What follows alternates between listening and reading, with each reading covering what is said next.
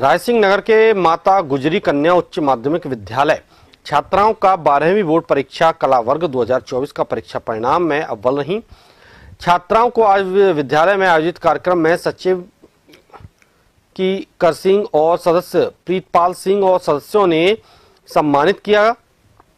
प्राचार्य नीना अरोड़ा ने बताया कि भूगोल विषय में दो छात्राओं ने सौ में से सौ अंक और हिंदी अनिवार्य विषय में एक छात्रा ने सौ में से सौ अंक प्राप्त कर विशेष योग्यता हासिल की है।